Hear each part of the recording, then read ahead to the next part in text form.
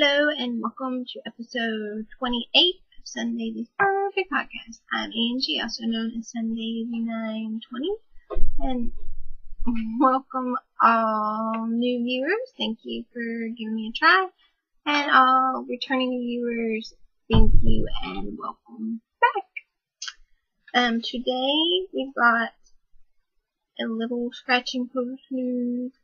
I got quite a few things on my claws and I've got nothing off my claws, and I have a couple purrs, and then the scratchy post, and that's about it. So let's get going, and if y'all excuse me real quick, my dog, Hope, she's outside, she wants back in, so let me go let her in, and I'll be right back. Alright, welcome back. We Luke decided to come say hello. Um, see the scratching post? Um, the prize, the winner of the Apple 380. I will be getting your prize out next week, so I don't know how long it'll take of going across seas, so but I will get it in the mail next week. And then the Challenge Yourself Cal is going on, and I was going to do a cardigan, but I realized that the yarn I'm using and, and the gauge I don't have the right needles. And with my budget, I can't get any right now, so I have to wait until next month. So I hope, I'm gonna try to do something else, which I'll talk about later. And, um, but, yeah, so that's my update on the challenge yourself. But, um, so I got that going on, and I guess that's all for the scratching post, not a lot. So I guess I'll go to the knitting, and, um, I have quite a few things on my claws. One thing I can't show you, still working on my gift knitting. We'll move it over. And other thing is my stripy sock. I got a little, I don't think I got a lot done, but I did get a little. Oh, I got a few. I forgot to put a little doohickey so you could see how much, but I think last time I showed it to you, it was like like I just did like these first two stripes. So making progress. And Dancing Dog Dye Works, Blooming colorway. I did check. It's the Blooming colorway. And her twist sock face. And I'm not sure what needles. Size needles. Ones. Are they ones? Yes, ones. So, I have worked on that a little bit. And then I started a shawl. Um, it is the, I don't remember, it's Lori or, I'm not sure, I'll link it. It starts with the L, I know that, but I'll link the pattern in the show notes. But I've got quite a bit done, and I'm using, um, first let me show this to you. I'm right there. But you can see in the middle it has this really pretty like cable and lace pattern. There you go. So I've done I think five repeats of the pattern. Yeah, I've done five repeats. It's a really simple pattern that's not really hard. It is a paper pattern. Um, it is not hard and it's going, it's probably going to start going more slowly because every repeat I think increases at 16 stitches I think. So as you keep going, it's going to get longer to do a repeat. But, um, yeah, I just had this yarn and thought it would, well, I thought, well, I'll use this yarn for that pattern. And then when I was reading the pattern, this is the actual yarn that called for. So that doesn't happen very often. But it's a Dream in Color Smooshy, I believe. And it's really washed out. Like, it's like pink. It's a real pale pink. But the lighting is not good today because it's kind of overcast and rainy. But yeah. So, and I forget the name of the of the yarn, the colorway. I think it's in my show. Um, in my show notes. I think it's in my project page. And I got little cable needle, my pink cable needle. So yeah, so I've been working on that, and like I said, it's like I work on it like I'm watching TV, so it's it's not so hard that you know you can't, which is the way I like it. I don't want it to be too complicated. So got that started. My Alabama bag. Keep my yarn in my stash button. And then the only other thing I've really been working on is my um, blanket. And I finished, I'm to show it to y'all because I finished another whole row. So I've got three whole rows. So this is the end I was finished up. And of course most of these are going to be known acres because that's my goal. I think the last time I showed it to you, I don't really remember where it was. Maybe like right about here or so. So I got all these, and again, you can't really see the colors as well. And I got.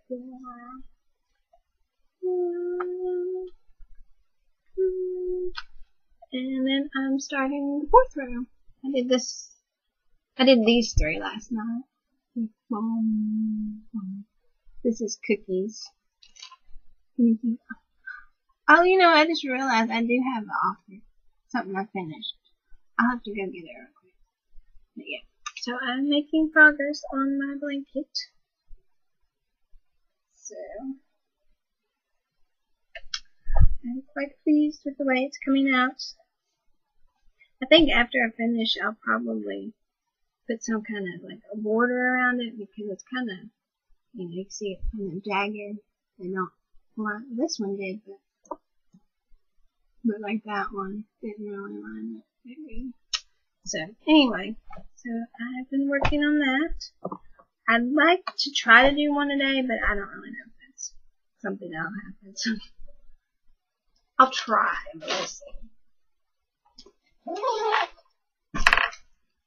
And let me pause real quick and run and get my Ultra Cloud. Alright, I was um, cleaning out my stash, going through it, trying to get organized, and I found this, um, I had nine balls of this acrylic yarn, and I thought, well, I'll just hold it double and make and crochet a, a, black, a pet blanket out of it. So I did this last weekend, and I finished it, and it made a big blanket. And the cats like it. And I messed up. I don't know if I can put it there. Along one edge. I don't know what it I think I got turned around and started crocheting on the wrong side or something. I'm not sure, but yeah, it's really thick and squishy and the cats like it, so they've been laying on it. So throw it over there. So that's all I got off my claws. And I used uh, eight of the balls of yarn. And the yarn, well, it was Patons Melody, I think, in the coral colorway. I think that's right. And I used like this huge crochet hook and it had no letter on it or number or whatever, so I really have no idea what size it was, so it was just like this huge hook. So that's what I got finished. And I guess that's it for arm and upper claws. So now we will go to curves. And this kind of goes with what I was going to. I was going to start this, but I had um, ordered this yarn and I got it this week. But I did have a pattern in mind. And I've been wanting to knit this for a while. It is Sleeves by Martina Behm. And it's basically like kind of like a shawl with sleeves. so I bought that pattern and I got some. Miss Babs was having a sale on her yarn. And I got some, uh, it's Miss Babs Tart in the roasted pumpkin color. And it's probably not going to show because it just looks like brown. but it's, you know, like a roasted pumpkin color. It's really pretty and yeah, it's just not going to show. But I got this to make sleeves and um, I was going to start the other night but it has like a something I've never did so challenge yourself so I needed to look at some videos where me and my husband got to watch a movie. So I think I ended up um, switching to work on my sock blanket and I'll probably try to figure out what I need to do today for that so. And what the oh and then I won um, in Limit Crochets group. I had um, entered my cowl I made, and that's thanks to I think get your name right, Christy Rose. She reminded me to put it in the thread, and I won. And I got my yarn. She sent me some fiber knit and the swoosh swoosh I guess base, and it's Polly Cracker. And it's not really showing accurate, but you get the gist of it. It's got like oranges, um, showing blue. I don't think there is any blue. No, there's no blue in it. and that like, that's a totally different color. This is like green. It's kind of a blue green, like a blue green, and then like a little lighter green, and then you get orange. So, not exactly the same. That's weird, but no. So I got that, so thank you, Lauren. And, yeah, don't have a lot. Um, I did finish, I might have got it last week. I think I told you I was listening to, um, I think I might have said Catching Fire on Audible, but it was actually um, Mockingjay, and I finished that this week, and um, I listened to finish that, and then I listened to two Doctor Who books, and I just got because in Audible you get a credit each month for a book, and I just got my credit, and I got The Hobbit, so I'm excited to start that one. And yeah, other than that, and not much per why. Um, so I guess we'll go into the school, not scratching post, the sun patch. And the sun patch, um, Hope, if you're wondering, she's doing really great. She's napping now. She came in and she gained a lot of weight she's probably the biggest she's ever been. But I guess since all her organs are where they're supposed to be now, it's it's probably the reason why she's not as skinny as she used to be. But we call her Miss Piggy now. But she loves to eat. We have to watch her because she will eat like dog food, people food, cat food. So she's like constantly wanting to eat. So she definitely doesn't need to gain any more weight. So she's doing really well. And um, the one thing I forgot to tell y'all, um, it was back when Hope was going through all her surgeries, and um, but I had I had let Hope out in the cat area because we were letting her out in the cat area instead of other area because we didn't want her tempted to chase the cats and the the backyard cats. Since she really wasn't you know feeling that good. And I let her out and I saw an orange cat kind of run. And she kind of um, half-heartedly kind of went after it, but you know she wasn't feeling good, so she didn't really go after it. And I thought, well, that's strange. Why did Jake run? Because if you've seen um, a past episode, I think it's on my shoulders. You'll see Jake, and he was on my shoulders. And I was like, well, and he's orange. I was like, why did he run? He usually doesn't, you know, run. And I, and I started thinking, what if that wasn't Jake? And I only have like one like orange orange cat. And I thought, let me see. And so I looked in the house and sure enough he was like on the couch. So I go outside and yeah, there's a strange orange cat in my fence. So I have to get the dogs. I think it was just Hope outside. I had to get Hope back in. I had to get any cats that, my cats that were out there. To get them in. And, um, then I had to try to get the cat out and he was scared. So I'm like, I open up the gate because the gates and I open it up and I thought, okay, I'll try to like, you know, just kind of walk towards him when he runs, everybody can kind of hurt him in that direction. Well, at one point he gets like, he's like right in front of the gate. Like all he has to do is just go straight. But I guess he's just so scared and he, you know, just wasn't, I don't know, he was just scared.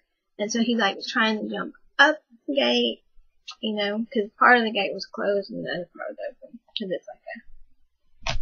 So he's like climbing up it and he can't get out because they can get in apparently, but they can't get out. And so then he ran back, you know, the opposite way and, and then I had to herd him that way again and finally he, and I've never seen him since, so, yeah. The, the, the probably the a crazy thing that ever happened was once a squirrel got stuck in there because we have things on the trees so the cats can't, you know, because Leo was climbing up the trees, jumping on the house and getting out. And I had a squirrel that fell in there one time. Oh my gosh. I'm like running, cause see, Luke was out there. So I'm like running around trying to get Luke. He's chasing the squirrel he catches the squirrel at one point, has the squirrel like behind. You can tell he's so proud. So, but he, you know, of course the squirrel's like a little too big for him, so it ends up getting away. And I finally got Luke in and uh, left the gate open for a while, and uh, the squirrel got out. But the funny thing is that after that happened, the squirrels, I'm not kidding, they came back and they like chewed up the little mesh stuff that keeps the cat. They chewed a hole in it so they could get in and out. Some squirrels smart. But yeah, those are some adventures that I have here on the on the farm. But um, I'm sure the neighbors, because I do have a, a neighbor, I'm sure she saw me out there chasing squirrel and a cat. Yeah, I'm sure I gave some people some laughs if they saw me. But anyway, I guess that's it. Um, thank you for watching, and I hope y'all have a great weekend, and I will see y'all next week. Bye!